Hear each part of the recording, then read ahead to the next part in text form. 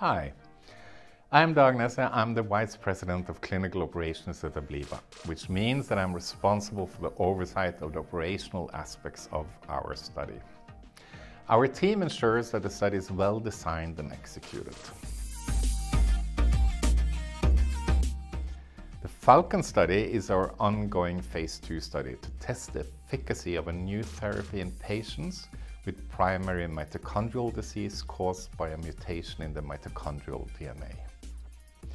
To participate in the study, patients must experience chronic fatigue and muscle weakness, as these are the symptoms that we think the study drug will impact. Our study drug KL1333 is our lead drug candidate.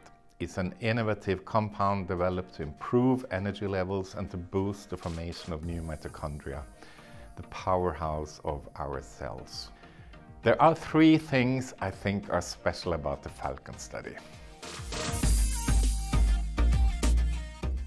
We have evidence that our drug candidate can improve fatigue and myopathy in patients. In our previous phase 1 study, we included a small group of patients and assessed fatigue and muscle weakness.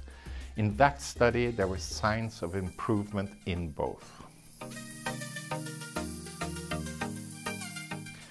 The study has not one but two primary endpoints. This is a great advantage for patients as the drug could get approved even if only one is positive.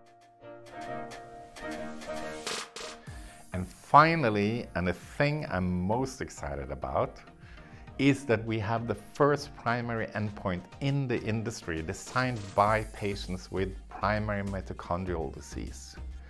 By interviewing patients, the PMD PROMIS fatigue scale has been validated and is now in use in the Falcon study. I want to say a big thank you to all of the patients out there who helped us create this fatigue scale. So thank you for tuning in today. You can learn more about our study and follow our progress on clinicaltrials.gov or you can visit our website abliva.com.